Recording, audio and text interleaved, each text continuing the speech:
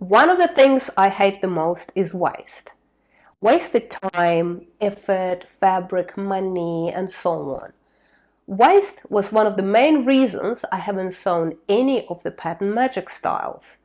I just can't see myself wearing these clothes, although I really, really like them. Another reason is that I don't speak any Japanese. Um, have you ever heard the saying, if you wait by the river long enough, the bodies of your enemies will float by? Well, in some strange way, it resonates with this situation. I waited so long to make these Japanese styles that the obstacles stopping me from making them floated down the river. Now I don't need to create any ways to make clothes because I make them in 3D. Think about it. Make all the styles and feel no guilt. And on top of this, now I can use Google Translate, so here's my Japanese problem gone. So I've decided to not only create all these cool Japanese guilt-free clothes, I will record myself making them, because why not? So, if you want to follow along, you can download a PDF bodice block or a Clo 3D project file. See the Gumroad link in the video description.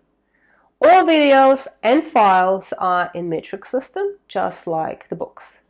So if you are interested in Clo 3D and 3D prototyping and want to learn more, I have a course for beginners on Udemy you might be interested in. You will find a link to the course in the video description too. So let's get started.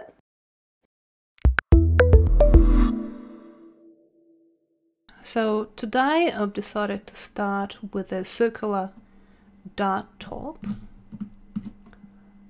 which would be probably the first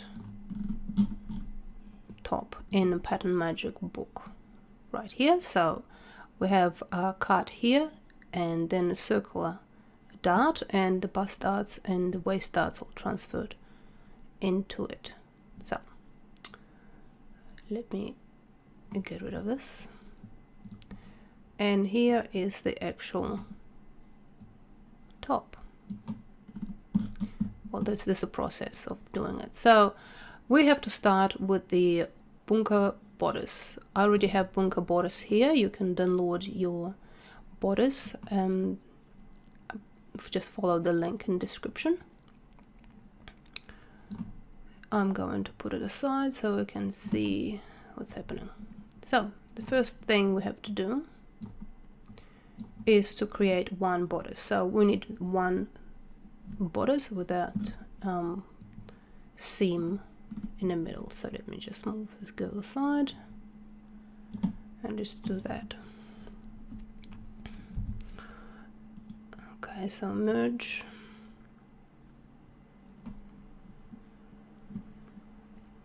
and while I'm at it I'll just close these ones as well. Okay. I'll just um, rotate it back up.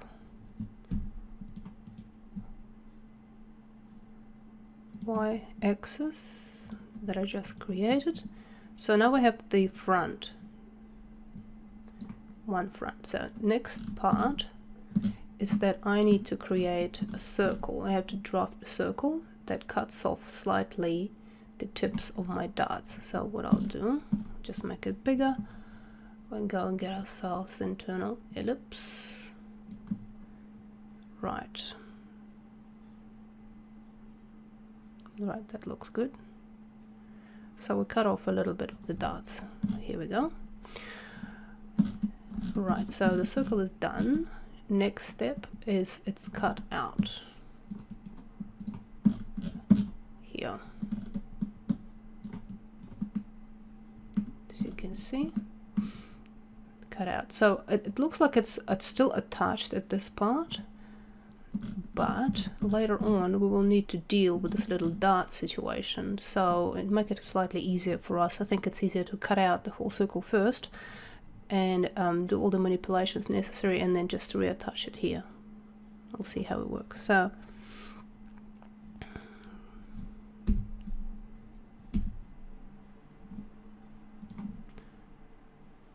let's go and cut this So here's our circle here. And now all the dots are closed. Yes, everything we can is closed. So let's go and fix this.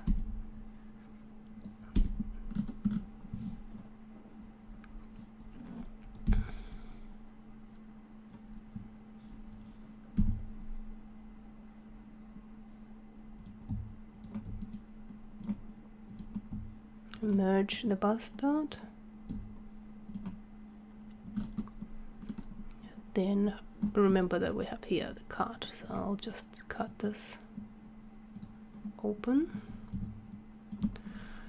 I will merge this part and get rid of this bit here this line as you can see.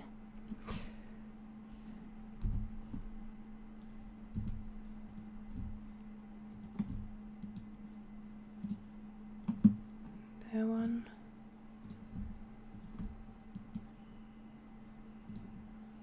And last one here merge. Right. So next step we have to deal with this little um, little remaining darts here. So Bunka says that we need to close them and then kind of just shave off a little bit here. It looks like they're not really worried with the uh, this little waist darts here so I'll just do the same thing as them. I'll just get rid of those. It would be the same as shortening the dart.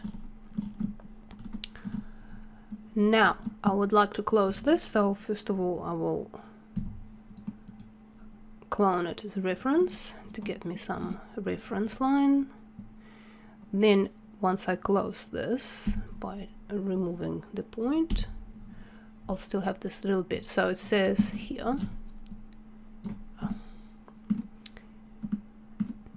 just do it like that. And that's what I'll be doing. And basically just make that part a little bit less curved. I'll just do it this way. And then I'll go and curve it out a bit. So it looks like we could probably move it here see curve it something like that.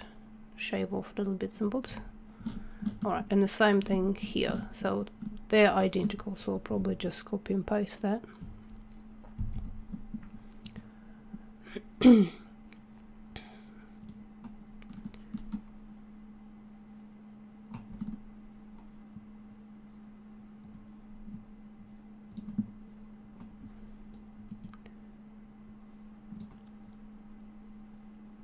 Right, it doesn't like it, so I'll just move it this way.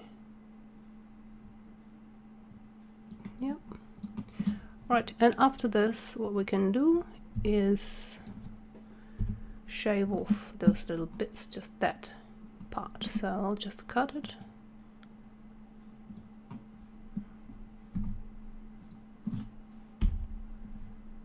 But of course, now we don't have the reference. So wait a minute. Before I cut it. I need to know where this point is so we can later on sew this bit here to this point. So I will probably add a little notch at this part here. This is where it was. Now let's see if it works. Hopefully our notch is not go going to disappear. Cut Notch is still there. Weird place, but okay, fine. Still there. And I think we just lost one of the... Ah, it's not relevant here anyway, so... Let's do this. Cut. And get rid of the bit. Good. Uh, I don't like this notch sticking out in a weird place. Let's flip it again. Okay, cool. Now we have that and this it looks already pretty good in here, but we're still not finished. First, we need to attach it back to here because this part of the seam, this part is not sewn, it's just the one pattern piece. Mm -hmm. Like this, just here. So it's like a question mark this way. So I will go and 1267 okay. No it's not 12 this we need to attach it to this part. So I'll just add a point. 1441 is that right? Yeah perfect. Cool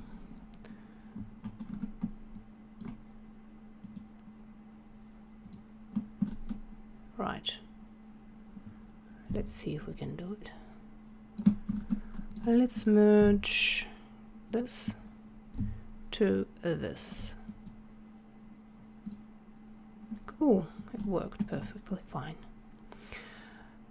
Now next thing. So here we got rid of this. We don't need the internal line here what we do need is to make sure it's everything sewn because right now if we simulate this it just falls out. So we'll just go to our sewing tool and sew this part. No first of all we need to get rid of this little bits here. Little leftover sewing from before. One this part two two to this part. Right. And of course just a little bit here. Okay. Now we will try and see what it looks like. Boom. Oh, that looks pretty good